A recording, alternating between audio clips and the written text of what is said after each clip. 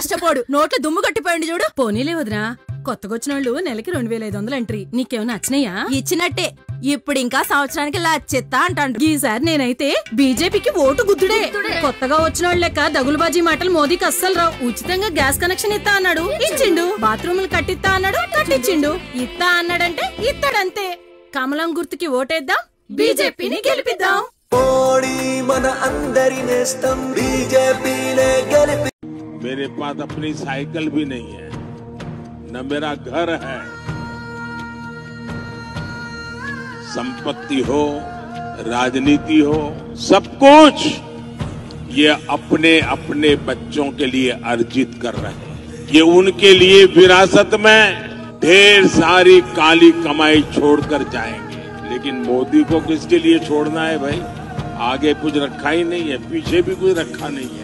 मेरे वारिस तो आप सभी ही।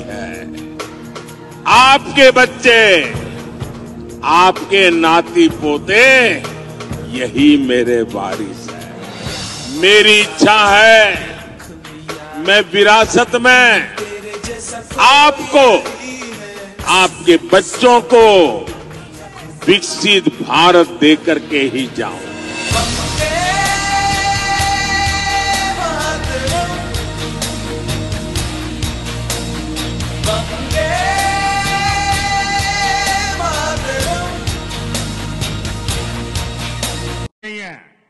मेरा पर्सनल काम है, करोगे? ये मोदी का पर्सनल काम है, करोगे? इनमें से किसी का काम नहीं है, मेरा है, करोगे? जरा हाथ ऊपर करके बताओ, करोगे? अच्छा तो मेरा काम बहुत सरल है। ज़्यादा से ज़्यादा परिवारों में जाइए। उन सबको मिलिए और उनको कहिए, मोदी जी हैदराबाद आए थे आप सबको नमस्कार कहा है। परिवार में सबको जय श्री राम कहा है। मेरा नमस्कार पहुंचाएँगे। मेरा जय श्री राम पहुंचाएँगे। जब परिवार के सब लोगों को मेरा नमस्कार पहुंचेगा, मेरा जय श्री राम पहुंचेगा तो परिवार के हर कोई मुझे आशीर्वाद देंगे। और जब परिवार का हर व्यक्ति मुझे आशीर्वाद देता है तो मेरी ऊर्जा अनेक गुना बढ़ जाती है। और मैं नहीं है। मेरा पर्सनल काम है, करोगे? ये मोदी का पर्सनल काम है, करोगे? इनमें से किसी का काम नहीं है, मेरा है, करोगे? जरा हाथ ऊपर करके बताओ, करोगे? अच्छा तो मेरा काम बहुत सरल है।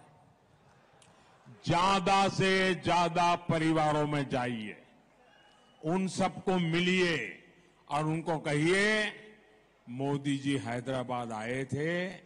आप सबको नमस्कार कहा है। परिवार में सबको जय श्री राम कहा है। मेरा नमस्कार पहुंचाएँगे। मेरा जय श्री राम पहुंचाएँगे।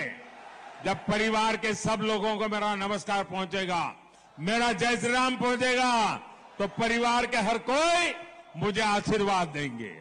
और जब परिवार का हर व्यक्ति मुझे आशीर्वाद देता है तो मेरी ऊर्जा अनेक गुना बढ़ जाती है। और मैं उस नहीं है। मेरा पर्सनल काम है, करोगे?